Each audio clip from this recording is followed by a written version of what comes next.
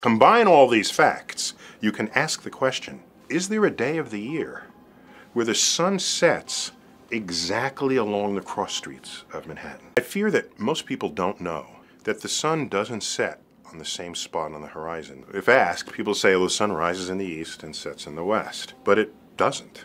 It only rises due east and sets due west on the equinoxes. March 21st and September 21st. All the other days of the year, it is rising and setting somewhere else on the horizon. Now we look at Manhattan, which has a street grid. Generally, we think of uptown as north and downtown as south. However, the, the grid itself is not oriented exactly north-south. It's rotated about 30 degrees from due north. Combine all these facts, you can ask the question, is there a day of the year where the sun sets exactly along the cross streets of Manhattan.